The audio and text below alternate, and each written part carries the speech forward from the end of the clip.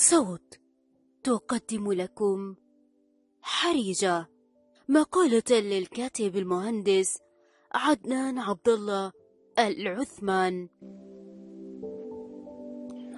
بعد أذان المغرب من يوم الخميس الماضي تلقيت اتصالا من مدير محفظة العثمان السيد فاضل الموسوي وابن عثمان مدير مجمع البروميناد وأبلغاني بحدوث حريق في مجمع البروميناد وأنهما قد فعلا خطط الطوارئ وكود إخلاء المبنى وإجراءات الأمن والسلامة وأن الإطفاء على وصول.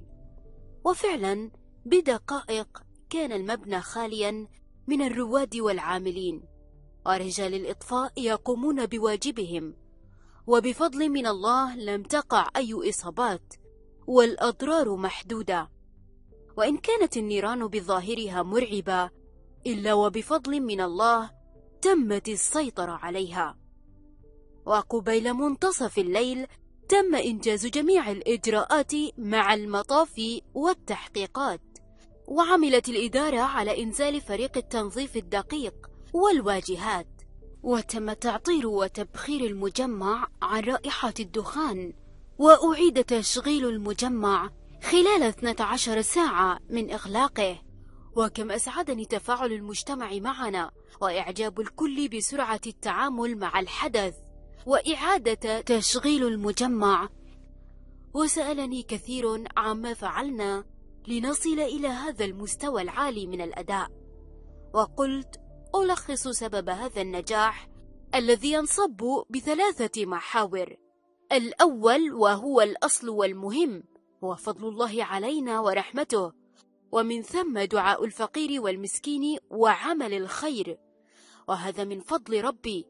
فكنت على يقين بأن الله سوف يحفظ هذا الوقف. لما للفقير والمسكين به من حق معلوم. ونحن لم نأل جهدا لإيصال هذا الحق لأصحابه برا بوالدنا وتنفيذا لوصيته رحمه الله. ورجاء بأجر من الله سبحانه وتعالى. وكما جاء بالحديث الشريف صنائع المعروف تقي مصارع السوء. والمحور الآخر هو الأخذ بالأسباب وأهمها تعيين من هو كفء للإدارة والالتزام بالقانون ولوائح الأمن والسلامة ووضع الخطط والسياسات والصرف على الصيانة وعلى التدريب والتحفيز. يعني الجماعة يشتغلون من خلال منظومة عمل متكاملة ومتجانسة. وما عندنا سياسة التجربة والخطأ. وكل واحد عارف شغله. وهذا ما أشاد به رجال الإطفاء. وطبعا المحور الثالث هو كفاءة وتفاني رجال الإطفاء. هؤلاء الأبطال من عيال الكويت ترفع لهم القبعة وقبلها العقال. ففي خلال دقائق تعاملوا مع الحدث بكل مهنية واحتراف.